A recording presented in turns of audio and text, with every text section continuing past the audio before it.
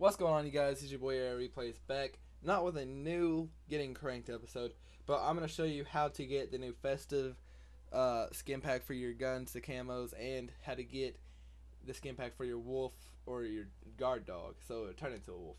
Uh, so first, you want to go to the store, and they should it should load up as the customization pack, and oh, okay, don't want to show that, but there should be a festive pack, and then there should be a wolf skin. So you click on the fest festive pack if you want to buy it, and if you want the wolf skin, you can buy it too.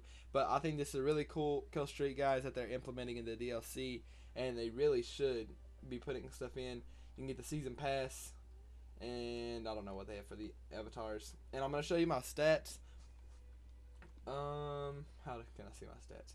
I have a 1.68 KD ratio. At my preferred weapon is the SC 2010 because that is the probably one of the best weapons on the game.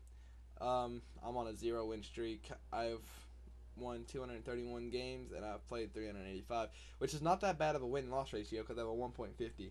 And I've only played a day, 3 hours, 39 minutes, and 1 second. Probably in counting. But you also get out of the skin pack or the uh, DLC, you also get, um, you get, well, of course, you get the camo. But as you can see, my guy has the festive background too. So you want to click on customize and you want to go down to background. And then there's three things now. There's standard backgrounds, elite backgrounds, and DLC backgrounds. So you want to click on this one to make it your background, of course. And then there's DLC patches, classified patches, weapon patches, perk patches, gear patches, game mode patches, first class patches, and standard issue patches. So these are all my standard issue. I'm pretty sure everybody has those. These are all my first class patches. I don't know if everybody has those, but pretty hard to get all of these. I don't have very much game mode patches, uh, patches because I really just play cranked all the time. Uh, first gear patches or gear patches, I have this. I don't really have that much. I want that one, the specialist one. Perk patches, oh, I, I have a lot of these because I use a lot of perks. Of course, you get these, but like the way I think of it is, you like I think you should be able to get these without having the operation because as you can see under perk Deadeye Master three, it says operation inactive. That means you do not have the operation active. So even if you try to get it, you still can't get it. And I think that's pretty stupid. But that's just up to I guess Infinity Ward. These are all my weapon patches, as you can see, and my classified patches. I think I only got one.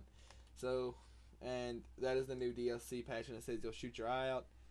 Um, let's see.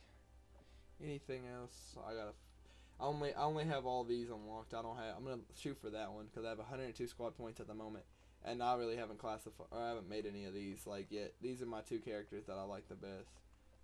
These are pretty cool. But thank you guys for watching.